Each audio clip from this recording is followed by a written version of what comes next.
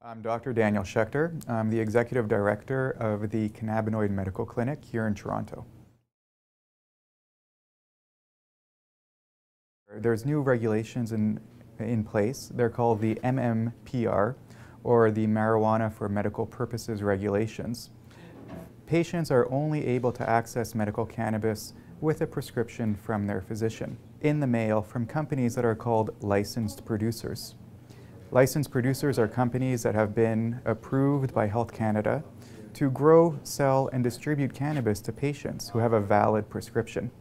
It used to be that patients were able to grow their own cannabis or have someone grow it for them or actually buy it directly from Health Canada. That's no longer the case.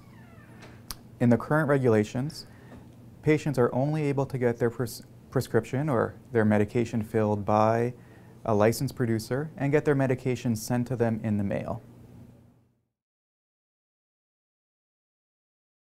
A lot of the information is found on the internet, and there are some very reputable resources out there, such as those found at the Arthritis Society website. Other resources which are reputable include those from Health Canada that administers the medical cannabis program in Canada. There's a lot of other websites that are available for patients uh, websites that are hosted by licensed producers, those are the companies that produce herbal cannabis. But it's important to know that and understand that not all websites are created equal. Not all information out there is true and accurate.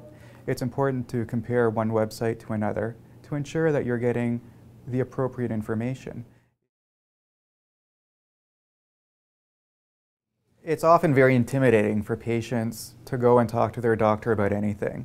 And medical cannabis, having such a stigma, it's especially anxiety provoking. And it can be very effective if you're well prepared when you go to that meeting. It can be very effective for you and also very useful for the physician that you're seeing, whether it be a physician that you have a long-standing relationship or a physician that you're seeing for the first or second time. It would be very uh, welcome by the physician if you had documents stating your condition with your treatments that you've tried in the past, as what you've failed, and what you're currently using. Uh, and that will help them to determine where you are at in your disease course, as well as where you might uh, benefit in terms of therapies going forward. If you're still nervous or anxious about meeting your physician to discuss herbal cannabis or any other therapy, the Arthritis Society has a great guide to helping you prepare for these difficult conversations. Medical cannabis is a medication like anything else. And if you and your physician decide that medical cannabis is the right treatment for you, you should be able to have a conversation with your doctor about medical cannabis. You should be able to ask them all sorts of questions that hopefully they'll be able to answer and help guide you through your usage and initiation into medical cannabis. Some of the questions that you could ask your doctor include things such as, how do I take medical cannabis? How do I adjust the dosage? How do I uh, get it delivered? And am I safe when I use it? What kind of things can I do when I'm using herbal cannabis? Can I go to work? Can I interact with my family? And how is it going to change me? Other types of questions include, is it going to affect the other medications that I'm taking? Do I have to be monitored in any special way? And just like you have questions about other medications, you can ask the same questions about herbal cannabis. Medical cannabis refers to prescription cannabinoids, which can be a capsule. It refers to phytocannabinoids, which can be either herbal cannabis, oils, or even a pharmacologic preparation in the form of a spray that you spray into your mouth. This can be obtained from a pharmacy.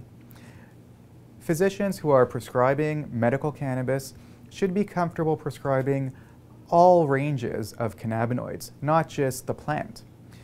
Sometimes capsules are much more effective for certain patients and are more appropriate for any number of reasons. First off, they are covered under most public and private insurance plans. And uh, it might just be easier if they're not able to inhale, if uh, they have lung disease, or for any other number of reasons. So if your doctor, if you and your doctor are talking about herbal cannabis and whether it's right for you or not, and they don't bring up other options such as capsules, sprays, oils, you may want to consult with a different physician who is more comfortable with the variety of cannabinoids that are available in clinical practice.